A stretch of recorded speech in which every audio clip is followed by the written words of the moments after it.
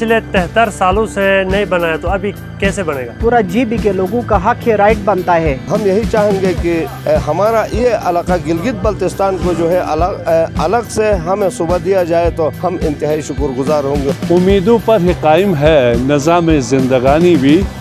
बिछड़ जाता है साहिल से गले मिल मिल के पानी भी।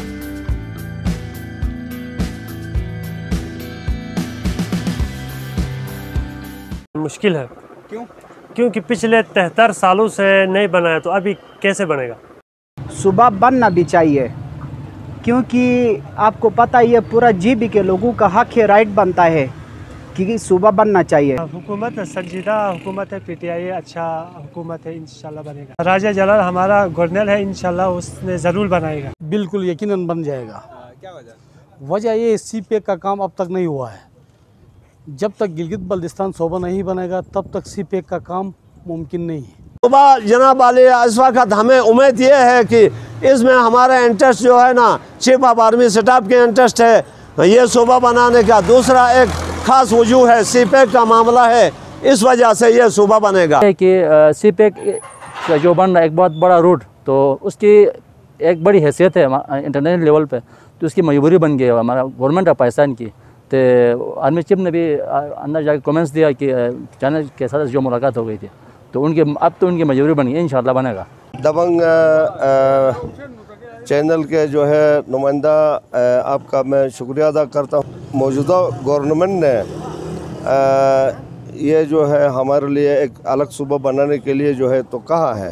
लेकिन ये अ, सूबा बनाने के लिए तो वो बहुत पहले से भी होता था लेकिन कश्मीर के साथ इलाहाक की बात हो गई थी तो वो कश्मीर के साथ नहीं, बल्कि हमारे आबा व अजदाद ने डायरेक्ट जो है इस इलाके में जो है कुर्बानियाँ दे के डंडों से और कुल्हाड़ियों से ले जाके जो है डोगरा राज को इधर से भगा के अपना आप को गवर्नमेंट पाकिस्तान के अपना आप को हवाला किया है।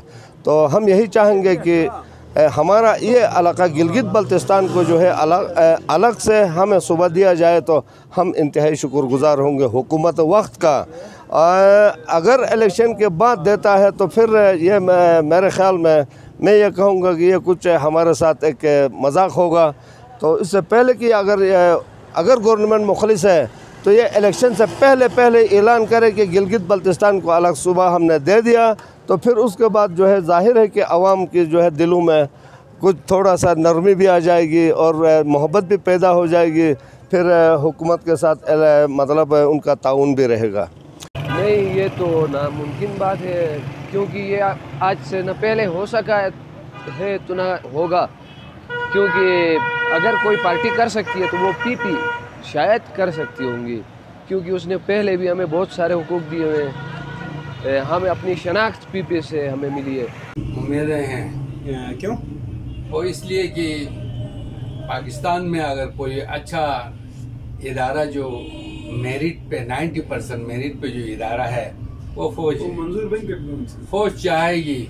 हमें आईनी हैसियत मिल सकती है आसानी के साथ।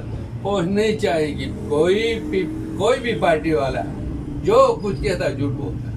फौज इस वक्त फौज कह रही है बनाओ उनके साथ जुल्म नहीं करो। इसलिए हम खुश हैं। पहले भी फौज से खुश थे अब भी फौज से खुश हैं। इस, इसलिए फौज जिस चीज़ पे हाथ लगाती है तो वो उसका हो जाता है। उसका हो जाता है। इसलिए कि फौज वाहिद इदारा है पाकिस्तान में। टॉप का इदारा। जो आपको पेट का दर्द भी हो तो वो इलाज करते हैं। आईनी हैसियत तो ही उम्मीदों पे दुनिया जो है वो कायम है ना। वो एक शेर इस सिलसिले में मैं एक शेर से आगाज़ करूँगा कि उम्मीदों पर ही कायम है निज़ाम जिंदगानी भी बिछड़ जाता है साहिल से गले मिल मिल के पानी भी।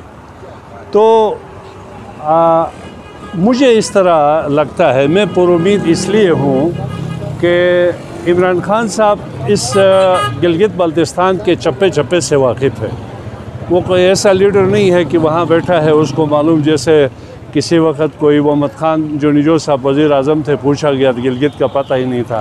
तो ऐसा नहीं है। इमरान खान साहब यहाँ के चप्पे चप्पे से हर कौम, कबीले के खासियतों से वो वाकिफ़ है और सियासी विज़िट अभी तक उसने नहीं किया। नहीं किया ना? अब आगे इलेक्शंस आ रहे हैं। तो मुझे लगता है ऐसा है कि वो इस कौम को सरप्राइज़ देगा और आके सूबे का वो ऐलान करेगा। मुझे तो ये लगता है। ठीक है ना जी?